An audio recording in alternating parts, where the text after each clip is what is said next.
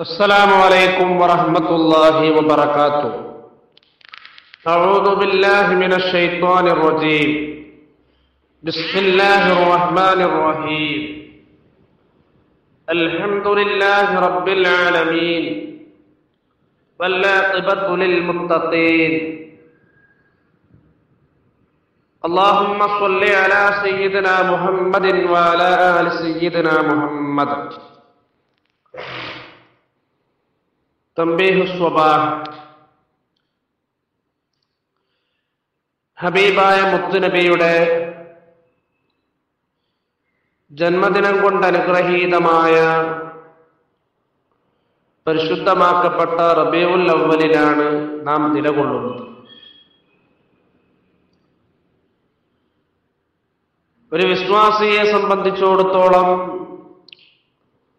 റബീഉൽ അവന്റെ ജീവിതത്തിലെ വലിയ ആഹ്ലാദത്തിന്റെ സന്തോഷത്തിന്റെ നിമിഷങ്ങളാണ്. കാരണം ഹബീബായ മുത്തുനബിയുടെ ജന്മദിനം കൊണ്ട് അനുഗ്രഹീതമായ റബിഉൽ അവൽ ആയി എന്നത് തന്നെ.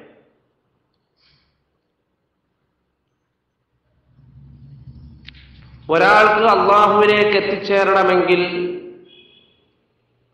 ഹബീബായ മുത്തുനബിയിലൂടെ അല്ലാതെ ഒരാൾക്ക് അള്ളാഹുവിലേക്ക് എത്തിച്ചേരാൻ സാധ്യമല്ല. മുത്തുനബിയെ മാറ്റി നിർത്തിയാൽ ഒരാൾ വിശ്വാസി പോലും ആവുകയില്ല ഒരു അവിശ്വാസിയായ ഒരാൾ പരിശുദ്ധമാക്കപ്പെട്ട ദീനുൽ ഇസ്ലാമിന്റെ ആ വഴിയിലേക്ക് കടന്നു വരുമ്പോൾ അവൻ ചൊല്ലേണ്ട വാചകത്തിൽ അവൻ മൊഴിയേണ്ട വാചകത്തിൽ അഷ്ഹദു അല്ല ഇല്ലല്ലാഹ് വ അഷ്ഹദു അന്ന മുഹമ്മദ എന്നതാണ്. ഞാൻ അള്ളാഹുവിൽ വിശ്വസിച്ചു എന്ന് മാത്രം ഒരാൾ മുഴിഞ്ഞാൽ അവൻ വിശ്വാസിയാവുന്നില്ല.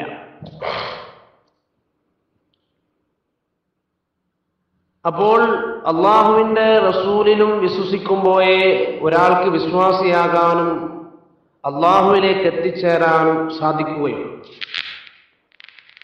ഇപ്പൊ ഹബീബായ മുത്തുനബിയിലുള്ള വിശ്വാസം അള്ളാഹുവിനുള്ള വിശ്വാസം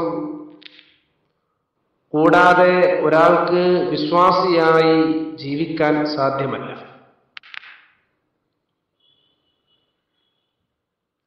പരിശുദ്ധമാക്കപ്പെട്ട ഖുർആാനിൽ ആദ്യം വിശ്വാസമാണ് പറഞ്ഞത് പിന്നെയാണ് സൽപ്രവർത്തികളെ കുറിച്ച് ഖുർആൻ ഷരീഫ് ഓർമ്മപ്പെടുത്തിയത്. ഇല്ലല്ലദീന ആമനു വഅമിലു സ്വാലിഹാത്തി.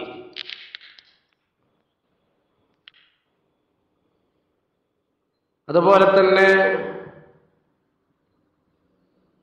പരിശുദ്ധമാക്കപ്പെട്ട ഖുർആാനിന്റെ പല ഭാഗങ്ങളിലും ആദ്യം വിശ്വാസമാണ് പറഞ്ഞത് പിന്നെയാണ് സൽപ്രവർത്തികളെ കുറിച്ച് അള്ളാഹു പറഞ്ഞത്. അപ്പൊ വിശ്വാസം എന്നുള്ളത് അള്ളാഹുവിലും അവന്റെ പ്രവാചകരിലും വിശ്വാസം എന്നുള്ളത് അത് വലിയ ഒരു ഘടകം തന്നെയാണ് എന്നാണ് ഇതിൽ നിന്ന് നമുക്ക് മനസ്സിലാക്കാൻ സാധിക്കുന്നത്.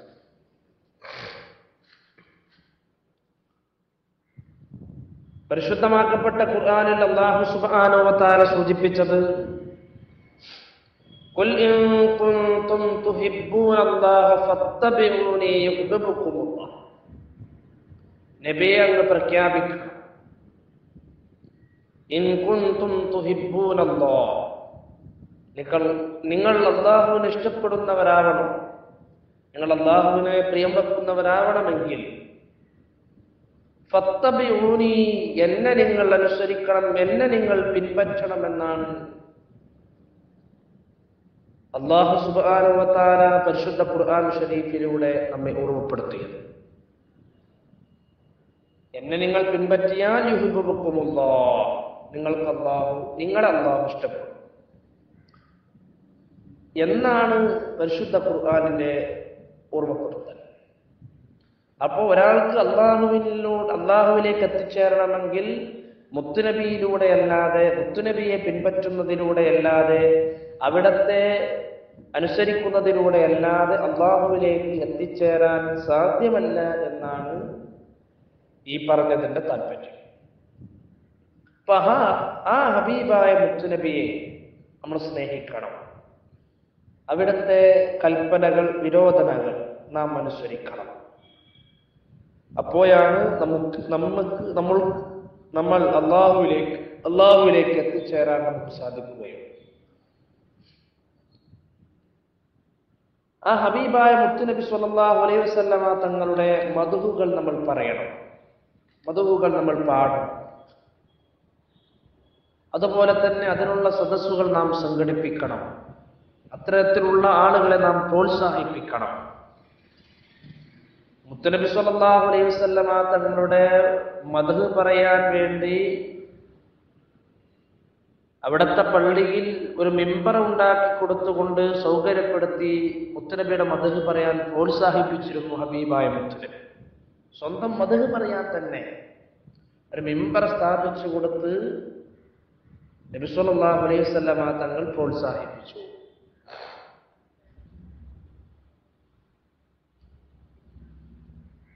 ഹബീബായ മുത്തനബി സല്ലാഹു അലൈഹി വസല്ലമ തങ്ങളെ കുറിച്ച് ഒരു കവിത രചിച്ചു. മഹാനായ കഴബിനു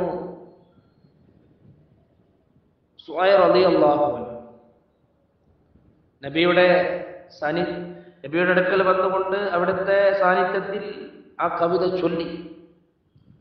ചൊല്ലിയപ്പോൾ നബി സല്ലാഹു അലൈഹി വസല്ലമ തങ്ങൾ അതിൽ തൃപ്തിയുള്ളവനായി മാറി തൃപ്തിപ്പെട്ടു ആ കവിത ചൊല്ലിയത്. ആ കവിത തന്നെ സമ്മാനമായി പാരിതോഷികമായി ഹബീബായ മുത്തനബി സല്ലല്ലാഹു അലൈഹി ഒരു പുതപ്പ് നൽകുകയുണ്ടായി. എന്നൊക്കെ ചരിത്രത്തിൽ നമുക്ക് കാണാൻ സാധിക്കും. അപ്പോ ആ ഹബീബായ മുത്തനബിയെ സ്നേഹിക്കണം. അവിടുത്തെ കൽപ്പനകളും വിരോധനകളും നാം അനുസരിക്കണം. ഇവിടുത്തെ മധുഹുകൾ പാടുകയും പറയുകയും അതിനുള്ള അവസരങ്ങൾ ഒരുക്കുകയും ചെയ്യണം. അങ്ങനെ അള്ളാഹുവിന്റെ പ്രീതി അള്ളാഹുവിന്റെ പൊരുത്തം അള്ളാഹുവിന്റെ സ്നേഹം നമുക്ക് പിടിച്ചു പറ്റാൻ സാധിക്കണം. റബ്ബ് നമ്മെ അനുഗ്രഹിക്കട്ടെ.